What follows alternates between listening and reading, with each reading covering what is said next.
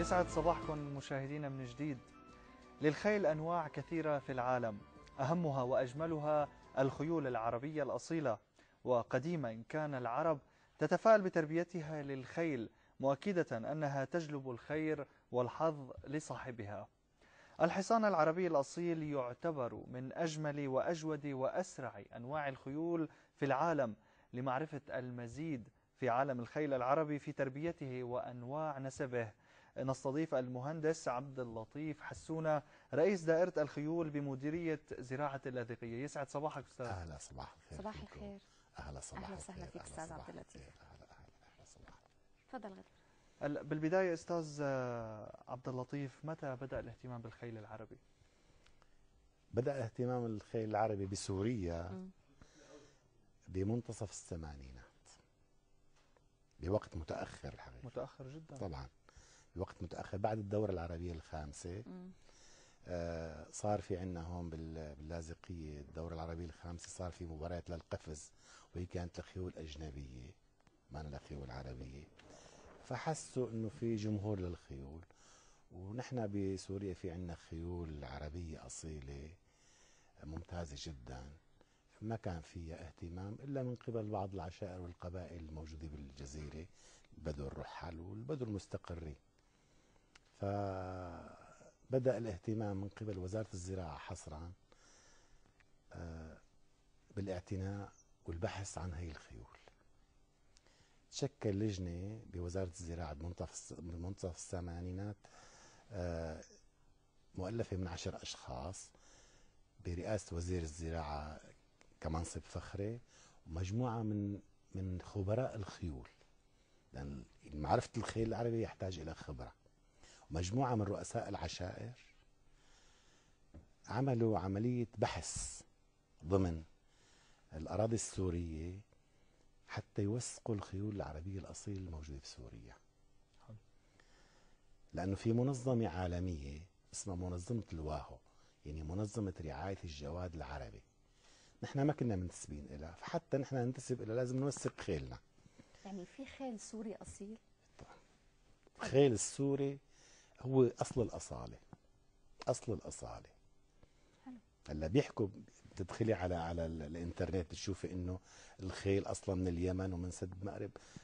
اثبتت الحفريات الأثرية. إنه الجواد العربي الأصيل أصله من البادية السورية حصرا وانطلق إلى كل أنحاء العالم من البادية السورية. الخيل العربي الأصيل انطلق من البادية السورية. فوقت بدأت وزارة الزراعة بهالعملية البحث واللي استمرت أربع أو خمس سنوات للأسف الشديد في تجار خيل. تجار الخيل أشاعوا بين ال ال ال- الناس البسطاء وغير البسطاء إنه الدولة بدها تأمم الخيل. كيف يعني تأمن تأمم الخيل مثل ما أممت ال- مثل ما ما صار الاصلاح الزراعي وأخذت الأراضي والمعامل. أشاعوا إنه الدولة بدها تأخذ الخيل بدها يصير تأممها. ملكيته إيه. للدولة فصار المربي اللي عنده 10 12 راس خيل يخبي خمسة ستة ويظهر أربعة أو خمسة يظهر الربع أو الثلث أو النص. وهو كان مخبى الخيل الأحسن يعني مخبى الخيل الأحسن مم. فنتيجة هذا البحث طلع مع وزارة الزراعة بسنة 1989 579 راس خيل عربي أصيل حلو. هي الخيول العربية الأصيلة موثقة من قبل من قبل خبراء الخيول موجودين بالقطر العربي السوري من قبل رؤساء العشائر اللي عندهم هي الخيول من قبل الحجج. الحجة هي عبارة عن عن عن عن, عن, عن ورقة وثيقة موجود فيها هذه الوثيقة.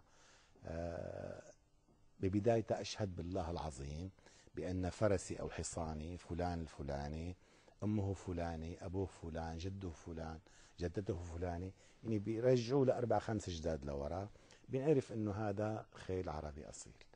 فنتيجة التوثيق هذا وثقوا 579 راس خيل بوزارة الزراعة موجودة بسوريا. هيدي بالثمانينات. هاي بسنة 1989 89 89 89 نحن انتسبنا لمنظمة الواهو عن طريق هالخيول هي 579 راس. وأصدرت وزارة الزراعة كتاب سمته كتاب أنساب الخيول العربية. آه، في ال 579 راس خيل موجودين. ال 579 راس خيل موجودين. معتمدة منظمة الواهو اللي هي منظمة رعاية الجواد العربي. معتمدة آه، مخابر لتحليل عينات الدم وعينات الشعر. مخبرين واحد ببريطانيا للأسف وواحد بألمانيا. نحن الدولة السورية اعتمدت اعتمدت المخبر الألماني فبعثت عينات دم من 579 راس على مخبر ألمانيا. ثبتت هذه العينات الدم موجودة هناك. من الفحول الذكور ومن الإناث. نعم. بعد هذا التوثيق بعد هذا التوثيق صارت الخيل هي تتوالد. تتوالد. يعني كل سنتين أو ثلاث سنين وزارة الزراعة تشوف شو في ولادات تحصرها تجيبها. يعني عملية آه، حصر الولادات كون نحن منتسبين لمنظمة عالمية عملية ما سهلة. هي الخيل العربية الأصيلة وقت اللي نحن آه، سجلناها بالمنظمة المنظمه مثل ما بتشتغل بكل أنحاء العالم بعثت لنا خاتم آه، شيفرة خاتم عبارة عن شيفرة الشيفرة آه، الحركات تبعها بتعطي أرقام. أرقام بيقرأها الخبير فقط لا غير. وبأول الشيفرة وبآخر الشيفرة مثلا سوريا S وبآخرتها A. مم. Syrian Arab إنه معروف هذا هذا هذا الحصان السوري. سوري. فختموا ال 579 راس بختم المنظمة العالمية الختم بيتم على الشكل التالي. معلش قبل ما نحكي عن الختم آه، نعم، تفضلي. المهندس نحن رح نروح لتقرير لحتى نشوف عن الحصان العربي مع هناء الصالح ونرجع لنكفي عن الختم مع الأستاذ عبد اللطيف. نتابع سوا.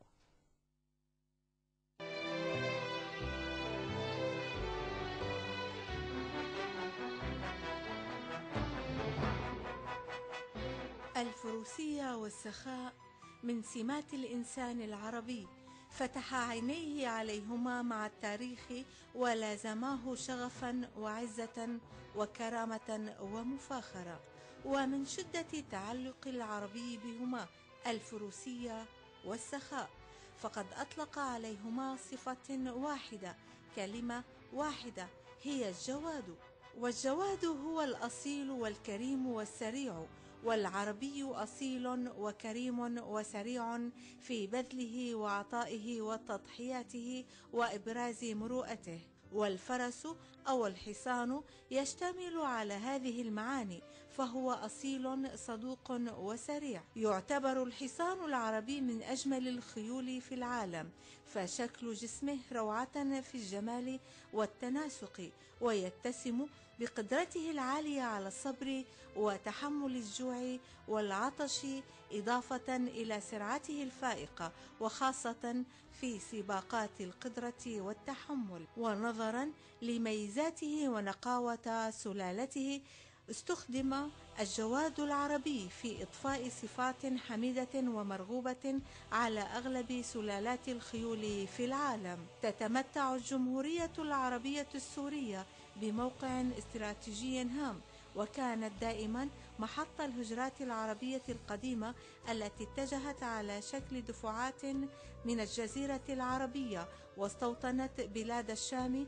نظرا للظروف الحياتية والمناخية. الأفضل وسكنت بادية الشام مجموعة من القبائل العربية البدوية وهذه القبائل العربية امتلكت الجواد الأصيل النبيل وصانته في أقصى الظروف وحفظته كما تحافظ على بنيها ومنها انتقل إلى العالم بدليل أن أكثر البعثات التي أرسلها قديما ملوك ونبلاء أوروبا إلى الشرق العربي لانتقاء وشراء الخيول العربية كان هدفها الأول سوريا. وبما أن الخيول العربية من أصل سوري لم تفقد أيا من مزاياها الأصيلة ولا زالت محافظة على نقاوتها وحياتها في بوادي الشام.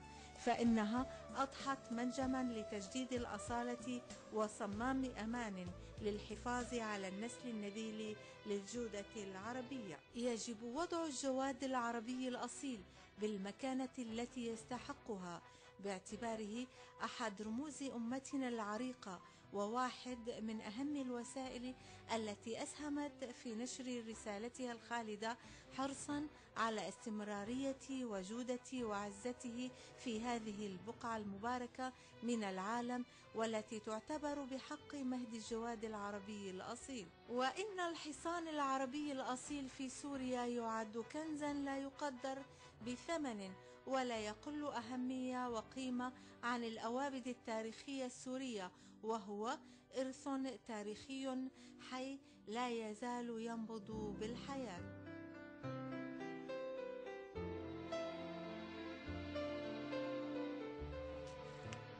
بعد ما تابعنا هيدا التقرير أستاذ عبد اللطيف لاحظنا قيمة الحصان العربي الأصيل.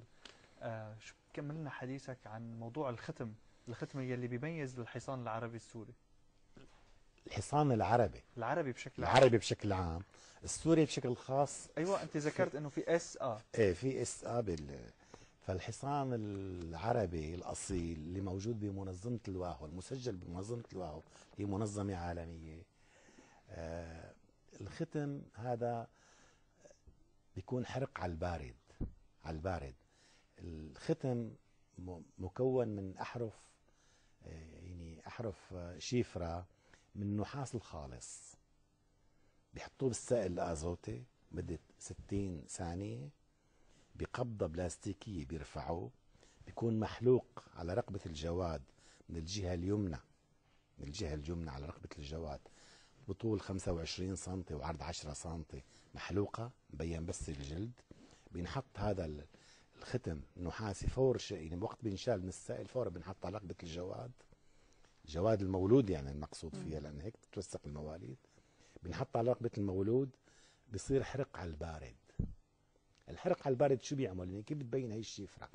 إذا كان الشعر للحصان الجواد لونه فاتح بيطلع الختم بلون غامق. إذا كان العكس بيطلع العكس. فدائما يعني الخبير بده يقرأ رقم الخيل بس حط مسحة مي هيك وشاف ال- الشفرة بيع- بيعرف رقم الخيل لأنه آه، بيختلف اللون لون الوشم عن لون الخيل. حلو. طيب. بدنا نحكي عن آه، كتاب الأنساب حيث يقول إنه ال- الخيول كتاب سلالات رئيسية مثل ما ذكرت حضرتك قبل شوي. آه، آه، بالنسبة لموضوع ال...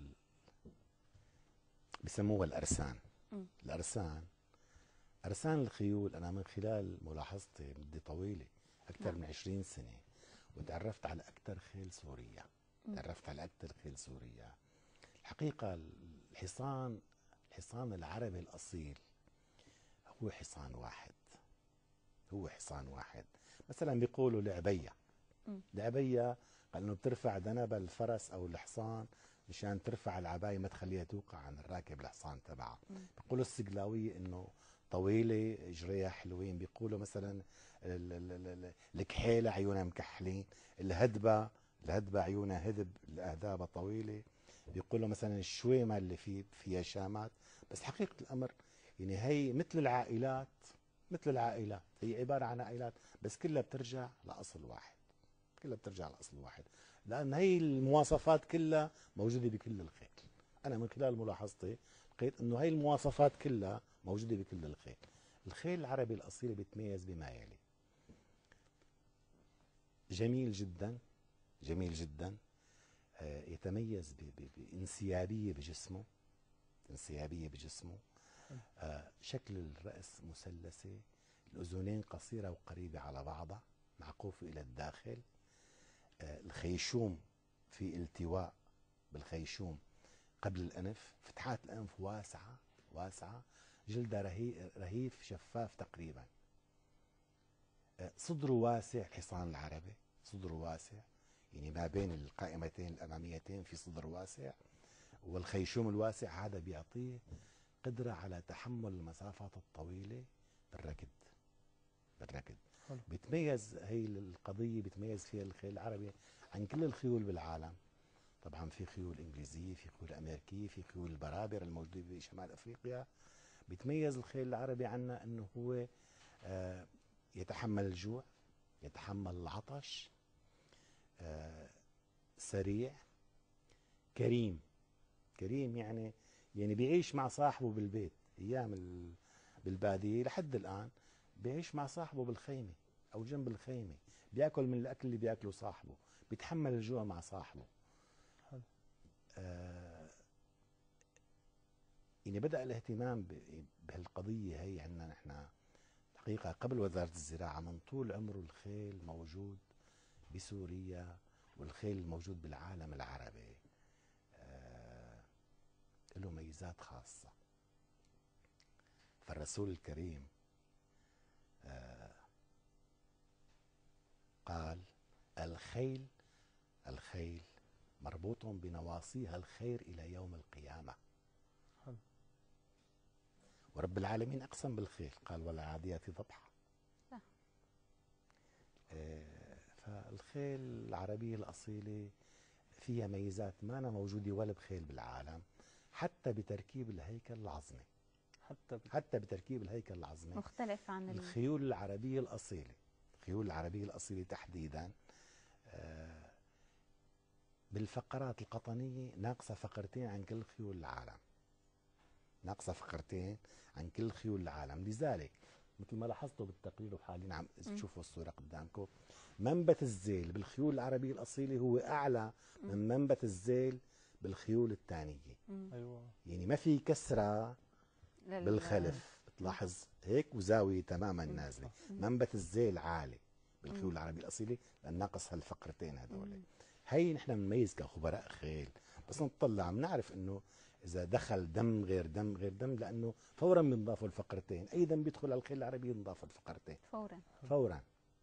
فبتصير هي الكسرة ورا. طيب- طيب أستاذ عبد اللطيف بالنسبة لتربية الحصان هي علم ومتابعة. كيف بتم تربية الحصان آه، بطريقه صحته وتغذيته بشكل عام؟ نسمع إنه كثير بحب السكر مزبوط.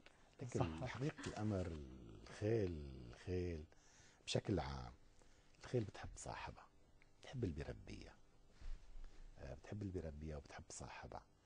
آه، اللي بيربوا الخيل هن ثلاثة ثلاثة بيهتموا بتربية الخيل. هو صاحب الخيل هو صاحب الخيل هو مدرب الخيل هو اللي بيركب الخيل هدول صاروا موجودين حاليا. أيام زمان أيام زمان كان اللي بيربي الخيل وبيدرب الخيل وبيركب الخيل هو صاحبها صاحبها صح. حاليا مالك الخيل ما بيركب خيل. مالك الخيل ما بيركب خيل. لكن ليش؟ عنده مزرعة خيل للمتعة أو للتجارة. المدرب بيدرب الخيل بس كمان ما بيركب خيل. في سايس الخيل اللي هو أهم أهم واحد موجود بهالمجموعة هاي. سايس الخيل هو اللي بيهتم بتنظيفها بيهتم بأكلها بيهتم برعايتها بالليل بينام معها بينام بمنطقة الحظيرة. آه، بيهتم بمراقبة ولاداتها بيهتم فيها بشكل كامل. فالخيل دائما السايس في ألفة بينه وبين الخيل حاليا. اللي هو كان صاحب الخيل أيام زمان صار اليوم يعني سايس الخيل هو الأكثر قرب. وفي بالسباقات شخص آخر يسمى الجوكي. هذا ما مربي خيل هذا الجوكي عبارة عن سائق مثل سائق سيارة السباق. بيجي من أي منطقة ليركب الخيل أثناء السباق. فقط. فقط لا غير. أكيد يعني بالعكس لما يكون يعني الشخص اللي بيكون عم يربيه ولا عم يطع يعني بظن 90% السايس تبع الخيل في علاقة أو بجوز إذا ركب الخيل رح يكون أفضل من ال- إيه إيه الحقيقة الأمر آه، بس مشكلة ركوب الخيل مشكلة ركوب الخيل بالسباقات في إلى مواصفات خاصة. آه، فالسباقات بتنقسم لنوعين للخيول العربية الأصيلة. سباقات ضمن المضمار ضمن المضمار اللي هو مضمار خيل آه، بشكل بيضاوي أيوه. بتركض فيه الخيل. يعني هالمضمار هذا بيكون طوله من ال 1250 متر ل 1400 متر. فبيتقسم هو لعدة مراحل. ممكن تركض الخيل 1000 متر يعني مثلا بعد خط النهاية بتمشي 250 متر بتنطلق تركض 1000 متر. ممكن تمشي 1250 ممكن ترجع لورا تصير تمشي أكثر وهلم جرا فهي سباقات المضمار آه، سباقات سريعة جدا سباقات سريعة جدا. وبدها خبرة فسايس الخيل ما عنده هي الخبرة. الجوكي الجوكي عنده خبرة ركوب الخيل لأن هي شغلته هي شغلته بيعرف كيف بده يتعامل مع الخيل. هي دائما السباقات السباقات بتنتهي بآخر 400 متر. آخر 400 متر بالسباق هي أهم قضية بسباق الخيل لأن تنطلق الخيل بأقصى قوتها. فإذا كان الجوكر راكب على الخيل بيعرف شو إمكانيات الحصان وكان السباق ألف متر. بينطلق فيه من بدايته لنهايته بسرعة واحدة وبيسبق الخيل إذا كان بيعرف أنه هذا الحصان مثلا إمكانياته أخف بيمشي مع الخيل لقبل 400 متر أو 300 متر بعدين بيفتح له الحصان يعني اللجام الرسن لجام الرسن أيوة. بيرخي له إياه. بيكون شاده بيرخي له إياه فبينطلق الخيل بأقصى سرعة له. فسايس الخيل يعني ما بيركب خيل. ما بي ما بينزل بالسباقات. بيركب خيل بس ما بينزل بالسباقات الخيل. ممكن يكون قيادي فقط ضمن ال... إيه إيه إيه، ممكن إيه. ضمن الحقل أو أي شيء. طيب بدنا نرجع شوي للمنظمة والاهتمام العالمي بالحصان. لاي درجه كان في تعاون ما بين سوريا وألمانيا بالنسبة لهذا الموضوع؟ نحن بالنسبة لنا وللمنظمة نحن تعاوننا مع المخبر فقط. نحن بنبعث عينات دم أو عينات شعر حاليا. حاليا صار عم نبعث عينات شعر مشان إثبات الأبوة الدي ان ا هلا 579 راس سجلناهم كتاب الأنساب نحن. للأسف إنه المنظمة العالمية بتفتح التسجيل لكل دولة بالعالم مرة واحدة. ففتحوا لسوريا مرة واحدة. وسجلنا نحن 579 راس. علما في عندنا كثير خيل. مثل ما قلت لكم كانوا التجار عاملين دعاية. التجار آه، اشتروها لهي الخيل وهربوها برات البلد وتسجلت برات البلد. بدول سجلت لحساب دول ثانية بدول ما كانت لسه مسجلة خيلها. آه، فنحن ال 579 راس هذول عم يتوالدوا عم يتوالدوا دمهم موجود بالمخبر بألمانيا. يعني هلا ما فينا نرجع نحن نحسبهم على الإطلاق على الإطلاق. العدد اللي كان عندنا شو صار العدد العدد اللي عندنا حاليا بحدود 9000 حلو. كان كان أكثر قبل الأزمة كان بحدود 10000 يمكن آه، راح بحدود 1000 راس خيل من دمشق ووسط دمشق وريف دمشق يعني بسبب الأعمال إيه، الإرهابية. إيه من ريف حمص كمان شوي الريف إدلب راح شوي. راح له شيء 1000 راس خيل يعني تقريبا. فال 579 راس اللي اتوالدوا أنا اجى لعندي مولود من فرس وحصان. أنا ما فيني اسجله ما فيني إجي على وزارة الزراعة أقول لهم هذا المولود اجى لعندي هي أمه وهي أبوه. وزارة الزراعة ما فيها تعتمد هالحكي فعندنا بوزاره الزراعة نحن نعتمد على الشكل التالي. الحصان اللي بيلقح الفرس صاحب الحصان إن كان هو مالك الفرس أو غير مالك الفرس بيقدم وثيقة. اسمها وثيقة شبوه أو وثيقة تلقيح فرس عربية أصيلة. هي الوثيقة عليها اثنين شهود عليها اثنين شهود. بيقول إن حصاني فلان رقمه كذا قام بتلقيح الفرس الفلاني لصاحبه فلان الرقم كذا وبيكتب بيشهد, بيشهد بالله العظيم وبيحط اثنين شهود على هي الوثيقة. كمان ما بكفي هذا الحكي. هاي الوثيقة تجي بيجي المربي الخيل اللي صار عنده الولادة بيقدم طلب لوزارة الزراعة لدائرة الخيول الموجودة بمحافظته آه، فهالطلب اللي بيقدمه اسمه آه، طلب تسجيل مولود. نحن بنطلع نطلع نرسم هذا المولود نرسم العلامات الفارقة فيه بنصور صورتين فوتوغرافيات أمامية وجانبية بنبعته على وزارة الزراعة. ليش نبعته وزارة الزراعة؟ لأنه بالأساس الختم اللي بده يجي ما في إلا ختم واحد موجود بسوريا موجود. بالوزارة فقط لا غير أيوة. فبتجي لجنة من وزارة الزراعة بتاخذ عينه دم أو شعر بتبعتها على ألمانيا تحت شيفرة يعني تحت رقم إنه يشوفوا لنا عينة الدم الرقم كذا أو العين الشعر الرقم كذا مين امها ومين أبوها فهن عندهم عندهم الأصول عندهم لأن ال 579 رأس عندهم عندهم هاي الأصول. فبيضربوها على على عندهم بيشوفوا بعد التحليل الدي ان ا لمين هل إذا كان الأب والأم صحيحين هن يبعثوا هن يبعثوا إنه الأب فلان والأم فلانة للعينه الفلانية. ما بيعرفوا بالأساس. من الوثائق إيه فبتجي المعلومات على وزارة الزراعة من المخبر من ألمانيا. جماعة الوزارة بيقارنوا الطلب اللي مقدمه المربي مع النتيجة. إذا كان هي الأم وهذا الأب فعلا فبيبعتوا جماعة الوشم من الوزارة ليوشموا المولود اللي صار عمره ثلاثة أو أربعة شهور. يعني حرام وشمه قبل ثلاثة شهور مشان هذا الحرق على البارد. فهي نحن الخيول العربية عربية. هيك انوشمت بسوريا وهيك عم نهتم فيها. طيب أستاذ عبد اللطيف موضوع الفروسية هي من السمات الموجودة عند العرب. شو بتحكي لنا عن واقع الفروسية حاليا؟ أنا قبل ما أحكي لك عن واقع الفروسيه بدي أحكي شغلة صغيرة عن الجواد العربي الأصيل. تفضل. للأسف نحن الجواد العربي الأصيل بكل الوطن العربي ما اهتمينا فيه قبل القرن الثامن عشر. آه الغزوات الأوروبيين بفوت بغزواتهم باستعمارهم بكذا هن شافوا هالجواد سريع رشيق وزنه خفيف وزن الحصان العربي 350 كيلو 300 350 كيلو بينما الخيول الاجنبيه وزنها لحد 600 كيلو. مم. فمن هون تجي الرشاقة والقوة صحيح. والتحمل. النف الواسع الصدر العريض. من هون عم يجي تحمل هي الخيل. فأخذوا هي الخيل لعندهم. هلا هلا الخيول اهتمام الخيول العربيه الأصيلة موجود برا أكثر من عندنا. المزارع الموجودة ببريطانيا ما موجودة بسوريا ولا موجودة بأي دولة عربية.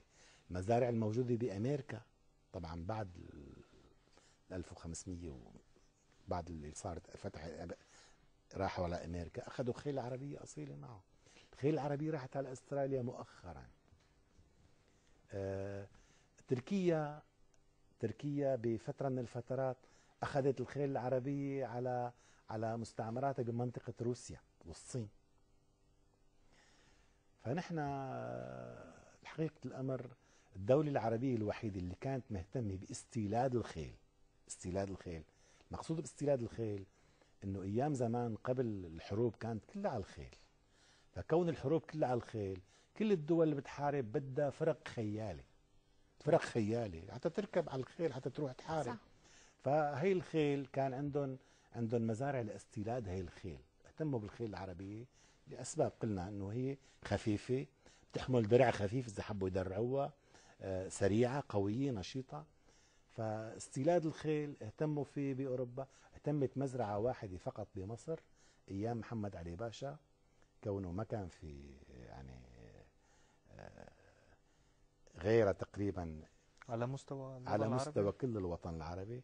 اهتمت مزرعة واحدة بمصر باستيلاد الخيل اسمها مزرعة الزهراء. ولا تزال موجودة حتى الآن. ولا تزال موجودة حتى الآن. أما يعني مزارع المزارع الموجودة برومانيا المزارع الموجودة ببولونيا المزارع الموجودة بفرنسا ببريطانيا كلها مزارع لاستيلاد الخيل ولا يزالوا بيولدوا الخيل العربية الأصيلة. حاليا حاليا نحن بسوريا آه بدأنا بعد سنة 2000 بعد سنة 2000 بعد المربين الكبار يعني اللي عندهم إمكانيات مادية كويسة يجيبوا خيل عربية أصيلة من أوروبا. من فرنسا أو من بريطانيا. خيل عربية أصيلة. يستوردوها من هناك؟ نعم. يشتروها ويجيبوها؟ نعم نعم نعم نعم. يجيبوها. لأنه هنيك وقت اللي أخذوها وقت اللي أخذوا الخيل من عنا. أخذوا الخيل من عنا. فهن عملوا عملوا لها اصطفاء وراثي. اصطفاء وراثي. مثلا هلأ هلأ حاليا أنا آه، إذا عندي أنا فحل للتلقيح. فحل ممتاز بالجزيرة. ممكن كل الناس تجي لعند هذا الشخص مثلا تلقح هذا الفحل مشان تاخذ هاي الصفات الوراثية. مشان تاخذ. فهني عملوا اصطفاء وراثي قبلنا بكثير فنحن استوردنا من عندهم فحول للتلقيح وجبناها على سوريا. هي خيول عربية أصيلة هي خيول عربية أصيلة بس غير سورية يعني غير سورية المنشأ هي ربيانية هناك وخلقانية هناك فعلا كلام كتير جميل ويطول الحديث عن الخيول. وهو كلام جدا رائع يعني نحن بنعرف قد إيه من حالنا وقت كان يطلع أي بطولة عن الفروسية الكل كان يتبسمر قدام التلفزيون بس لحتى نحضر الخيل العربي الاصيل بهي المسابقات. نحن كثير بنشكرك المهندس عبد اللطيف حسن لوجودك معنا اليوم وعن هذا الحديث الممتع والشيق. شكرا لك. أهلا وسهلا فيكم شكرا شكرا لكم. شكرا لتلفزيونكم وشكرا لكل الشباب الموجودين شكرا معنا. شكرا لك. نتشكرك أكيد. آه. لوجودك معنا أكيد معلومات كانت قيمة وموضوع كثير بيعز علينا إن شاء الله. إن شاء الله دائما يعني نشوف واقع الخيول العربية السورية الأصيلة بأفضل حال. شكرا لوجودك معنا. شكرا.